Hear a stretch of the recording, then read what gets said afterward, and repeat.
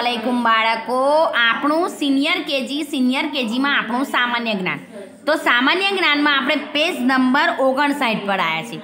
તો page number ઓગણસાઠ ઉપર આપણને સૂચના આપેલી છે કે નીચેના દરેક જૂથની વસ્તુઓ શામાંથી, સૂચનામાં લખ્યું છે કે નીચેના દરેક જૂથની વસ્તુઓ શામાંથી બને છે. તેના નામ ખાનામાં ખરું કરો. તો જુઓ, આ આપણને જ્યાં ચિત્રો આપ્યા છે પેજ નંબર ઓગણસાઠ પર, આ ચિત્રનો આખો પાઠ આપણે ચોવીસ શીખેલા છે. આપણો પાઠ ચોવીસ ગયા વિડીયોમાં શીખ્યા છે. સોરી છવ્વીસ કે વસ્તુઓની બનાવટ, એ પરથી આપણને આ ચિત્રો આપીને એનું શામાંથી બને છે, એના સામે ખરું કરવાનું, ચિહ્ન કરવાનું આપણને પાઠ આપ્યો છે. તો પેજ નંબર ઓગણસાઠ પર જુઓ.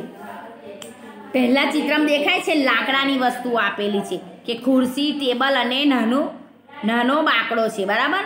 એટલે બાજટ છે. તો આ શેની બની છે? લાકડાનું. તો લાકડા સામે ખરું કરેલું છે, બરાબર? ફરી એની નીચે છે કે ચક્કુ, તારું અને કાતર. તો એ શેનું બનેલું છે? આપણને ખબર છે. મેં શીખવાડેલું છે અગાઉ, એટલે લોખંડ. તો લોખંડ લખ્યું છે ત્યાં તમારે ખરું કરવાનું. પછી એની નીચે છે ફુગ્ગો, ટાયર અને સ્લીપર. તો આ શેનું બને છે? રબડનું માટીનું ના બને. આ રબરની વસ્તુ છે ત્યાં ખરું કરવાનું.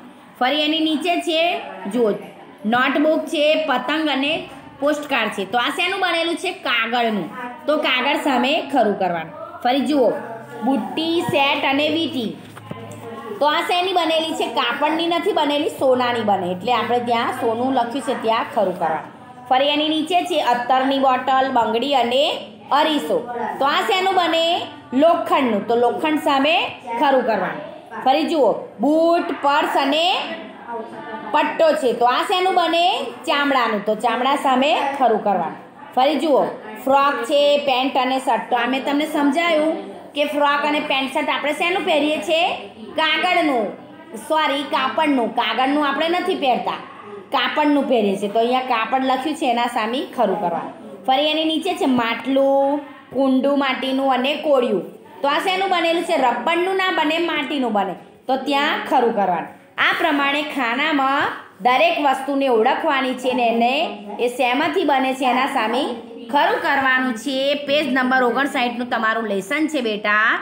ફરી બીજું શીખીશું. ચલો, અસલામ